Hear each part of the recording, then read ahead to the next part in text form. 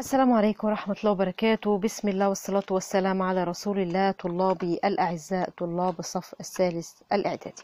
فضلنا مع بعض فيديو بيتكلم على محمية رأس محمد هنتكلم فيه في الفيديو ده.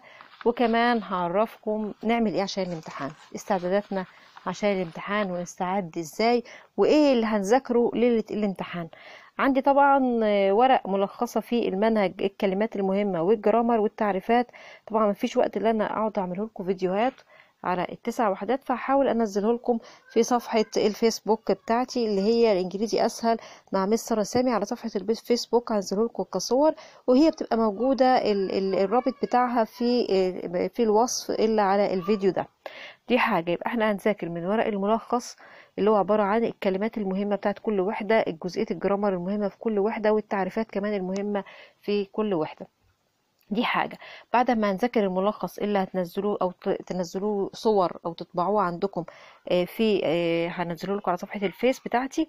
قلت هتبدأوا تشوفوا ورق الوظائف اللغوية. ورق الوظائف اللغوية ده برضو هنزله لكم على صفحة الفيسبوك اللي هي الإنجليزي أسهل مع Miss سارة سامي. هي بنفس اسم القناة.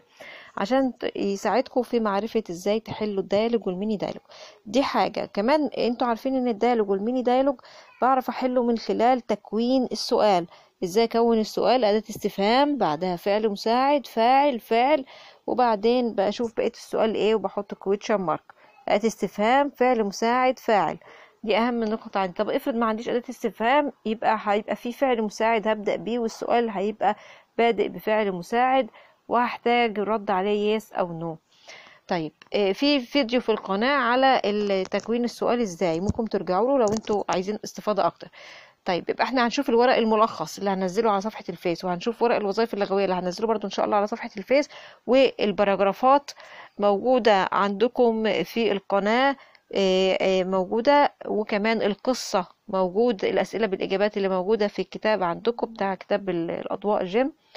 وعندكم كمان واللي مش عنده كتاب الأضواء Gem في عنده الكتاب المعاصر برضو الأسئلة بالإجابة أنا منزلاها. بس أنا منزلة الأسئلة والإجابة إلا على القصة اللي في كتاب الأضواء جيم. طيب آه عموما بتبقى معظمها زي بعض يعني. عندي كمان كتب المراجعة اللي إحنا حلناها هتبصوا على الأسئلة اللي أنتوا كنت أنا بنزلها بالإجابات اللي هو كتاب المعاصر. للامتحانات والاختبارات وكراسة المعاصر في المهارات وكتاب Gem الأضواء بتاع المراجعة والامتحانات. هتشوفوا الثلاث كتب دول هتحاولوا تحلوا من تشوفوا الأسئلة بإجاباتها تقروها بعينيكم ولو حاجة لقيتوها غريبة أو مش فاهمينها إزاي بتحاولوا تفهموها جت إزاي وليه. دي الثلاث نقط اللي أنتوا المفروض هتركزوا عليها ليلة الامتحان. هقول تاني. ورق الملخص اللي هنزله في صفحة الفيس بتاعتي وورق الوظائف اللغوية اللي برضو هنزلها في صفحة الفيس اللي موجودة في الوصف في, في الفيديو ده.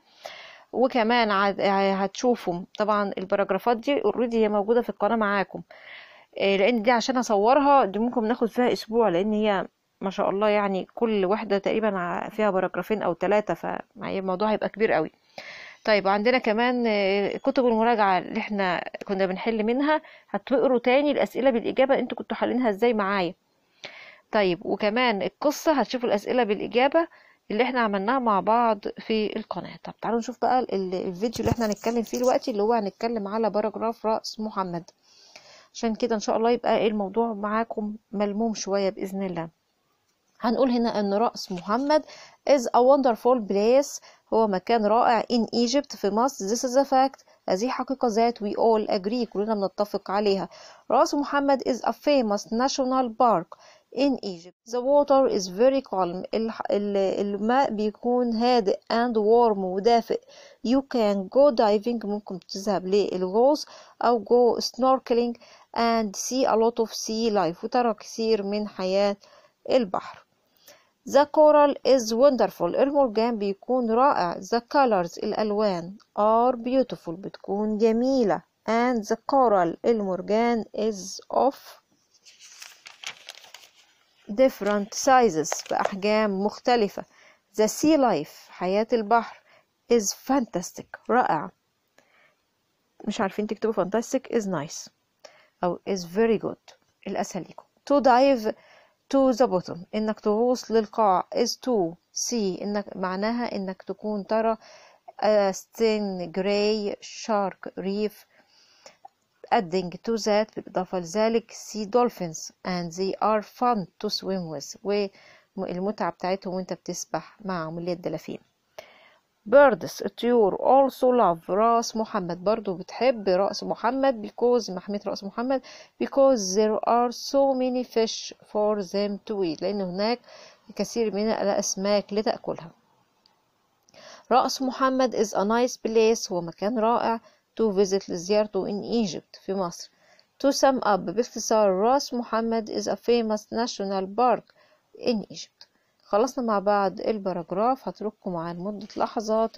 دمتم في أمان الله.